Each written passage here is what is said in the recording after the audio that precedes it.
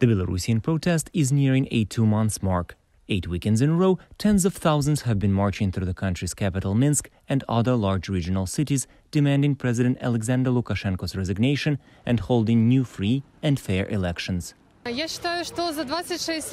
think that having been in power for 26 years, Lukashenko has completely departed from the reality. He cannot understand that his time is over. Other protesters demand the release of all political prisoners.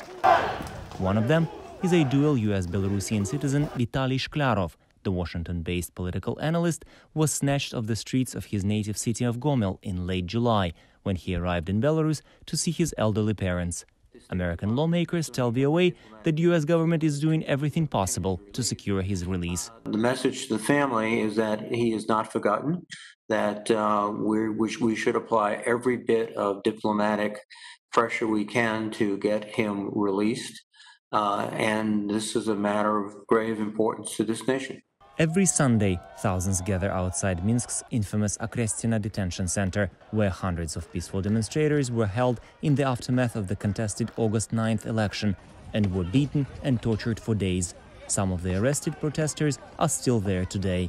Congressman Chris Smith, a Republican from New Jersey, says Belarusian police brutality has shocked the public and U.S. lawmakers are demanding accountability. We want names. You know, when we sanction, the more names, the better uh, because this we're not going away this time. Smith is the author of a fourth edition of the Belarus Democracy Act, passed by the House Foreign Affairs Committee last week.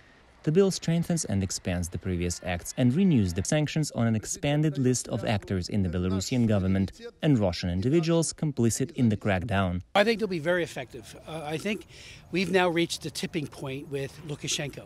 Activists say the Western sanctions send the right signal to Lukashenko, but the man dubbed by his opponents as a master of political balancing has withstood similar pressure in the past with no loss. The measures applied today cannot be called sufficient. They are not making Lukashenko change his behavior. What's clearly different these days is the level of outrage of the Belarusian people, evidenced in one of their main protest chants. In the meantime, the peaceful protests, as well as crackdowns, continue daily. Igor Tikhanenko, VOA News, Washington.